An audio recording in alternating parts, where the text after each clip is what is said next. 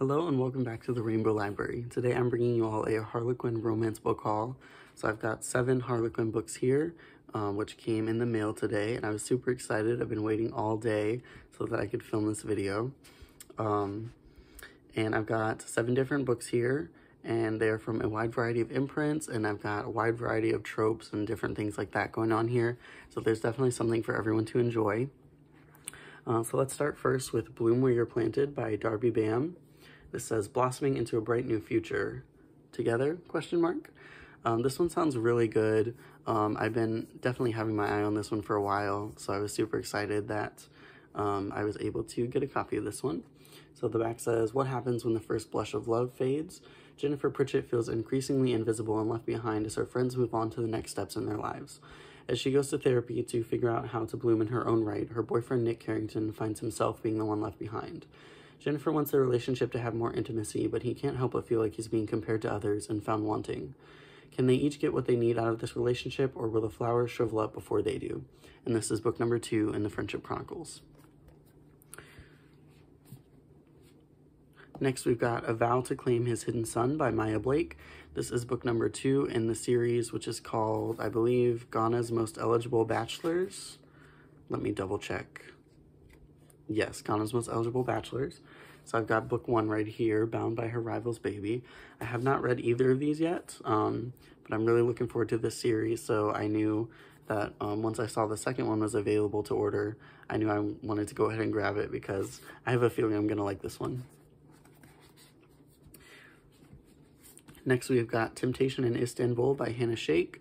So this one um, follows billionaire Faisal, who is anxiously awaiting custody of his little girl, who's been living miles away with her mother. First, he must win the approval of her nanny Marion, who has traveled with her to Istanbul. While he shows Marion the delights of the city, the instant interaction between them is hard to ignore, but Marion leaves in two weeks, so Faisal must decide how much of his bruised heart he is prepared to risk. So it sounds like a classic Harlequin romance there, and I also thought the cover was really adorable. So I wanted to pick that one up. Next, we've got A Family for Keeps by Janice Sims.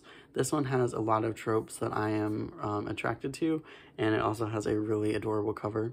Um, so some of the things that are involved in this one, um, there's a single dad, there's a friends to lovers romance, um, there's also going to be a lot of pining, I believe, um, and there's also, it says on the back, a close-knit, vibrant community. So I'm hoping we'll get some eccentric characters, um, things like that. But yeah, I'm really looking forward to this one.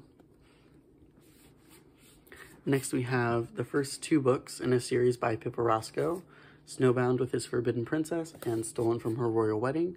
I was listening to the Categorically Romance podcast, and Pippa Roscoe was a guest interview on there, um, and she was talking specifically about this one, but they also mentioned some things from this book. And so it sounded like such a great series, and I believe the third one comes out maybe in the fall this year. Um, but I knew I wanted to jump in and give the series a try because it just sounded so good.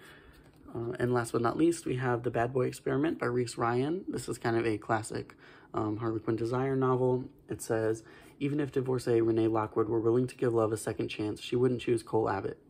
The successful real estate developer doesn't do commitment, but he's perfect for a no-strings fling, exactly what Ren needs now that she's moved back home to raise her son. Um, and then, of course, there's going to be some emotional feelings that develop out of that um, relationship, which was initially just going to be physical. Um, classic. So that one sounds really good. And of course it has a cute cover as well. So these are the seven that I got in my order today. So yeah, I'm really excited to get to all of these. And um, you may be seeing reviews for some of these in the coming months on the channel. Um, I'm hoping to start posting weekly here again, um, so you can expect plenty more Harlequin related content. As you can see, it makes up most of my shelves here.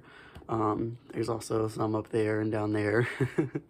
Um, but yeah, thank you all for watching, and I hope you've enjoyed this video. Please remember to like, comment, and subscribe, and I will see you next time.